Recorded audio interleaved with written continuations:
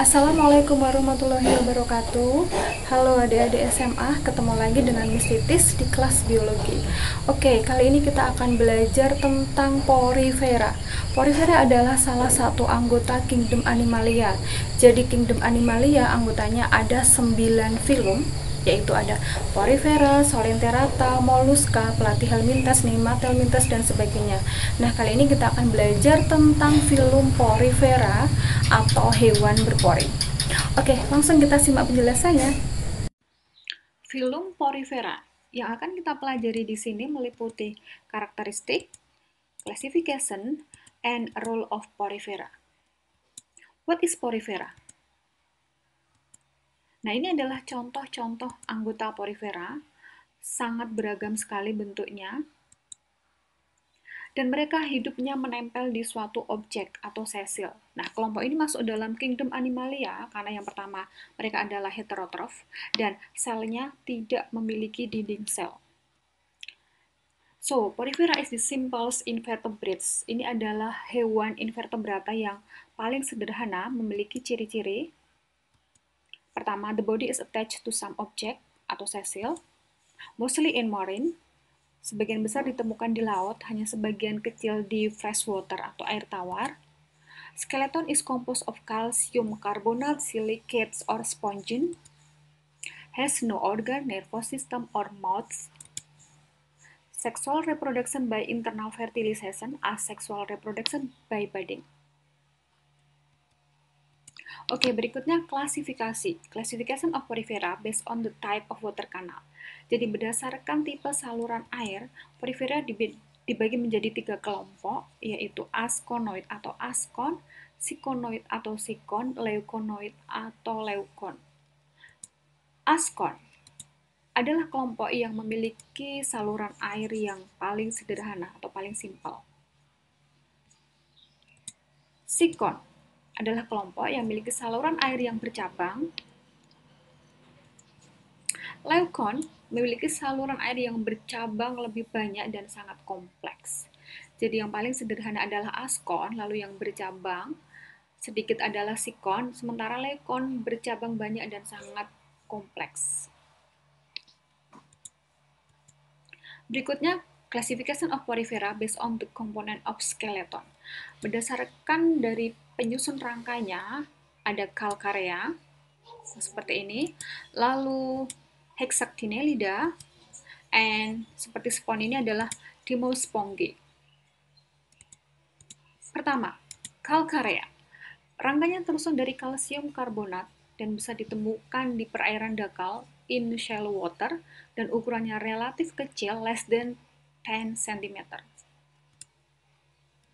Hexactinellida memiliki rangka yang tersusun dari silika, ditemukan di perairan laut dalam, deep sea, dan disebut juga sebagai glass sponge.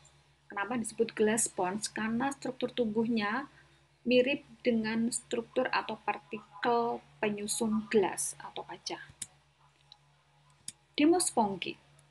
Rangkanya tersusun dari spongin fibers and or silica jadi bisa gabungan dari spongin fiber and silica atau spongin fiber saja. Dan ini adalah kelompok yang memiliki keanekaragaman yang sangat besar atau sangat luas. Bisa ditemukan di laut dan di air tawar, marine and freshwater.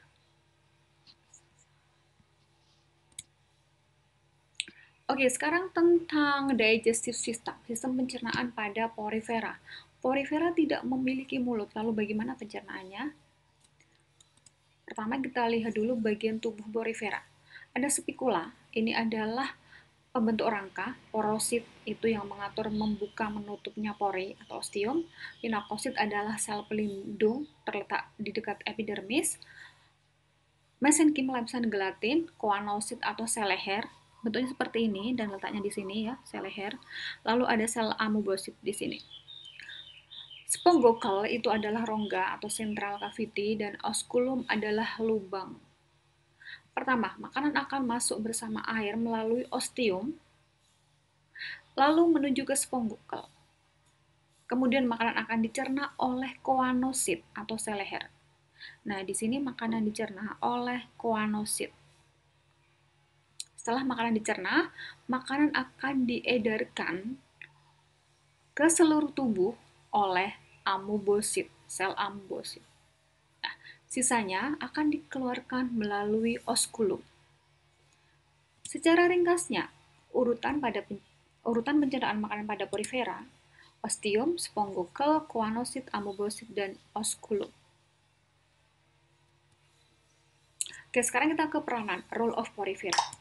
Yang pertama, the pore structure of porifera body is model for cleaning spons. Jadi, spons sintetis, spons pembersih yang sering kalian temui saat ini ternyata terinspirasi dari struktur tubuh porifera. Karena struktur seperti ini sangat efektif untuk membersihkan. Nah, zaman dulu masih ada yang menggunakan spons pembersih dari kelompok porifera ini, namun saat ini sudah tidak diperbolehkan atau sudah jarang digunakan spons sintetis jauh lebih murah. Yang kedua, their chemical active compound can be used as anti-inflammatory and anti-cancer drugs. Zat kimia dalam porifera itu ternyata bisa digunakan sebagai obat anti peradangan dan obat anti kanker dan ini dimanfaatkan untuk pengobatan pada manusia. Dan sudah beberapa peneliti melakukan isolasi zat kimia ini dan dimanfaatkan. Oke, itu tadi tentang film porifera, ciri-ciri, klasifikasi, dan peranan porifera. Sampai ketemu di topik berikutnya. Thank you.